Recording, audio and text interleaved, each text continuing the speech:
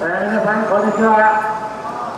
こんなにも大勢の皆さん、本当にありがとうございます。ご紹介いただきました、参議院議員の愛知二郎でございます。どうもありがとうございます。さて、私から限られた時間でありますので、1点だけお話しさせていただきたいと思います。今、伊藤慎太郎県連会長から、経済政策について様々ありましたが、我々の目指している。経済政策、目的はデフレからの脱却であります。このデフレがある。以上、日本経済に未来はありません。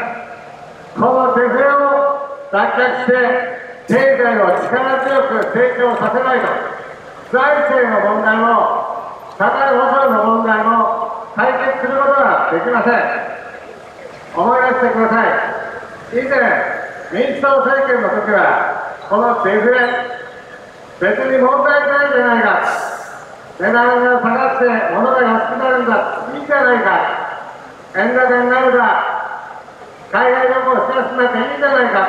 容認をしておりました。今の野党も、このデフレに対する明確なビジョンは持っておりません。改めて断言させていただきます。デフレからは脱却しなければいけない。そして、後戻りすることがあってはならないんです。我々はしっかりと前を見せ、さまざまな政策を打って、デフレから脱却をして、未来をつかんでいくんです。ぜひそのことを改めて我々の取り組みを応援していただきたい。私47歳、今永豊さん41歳です。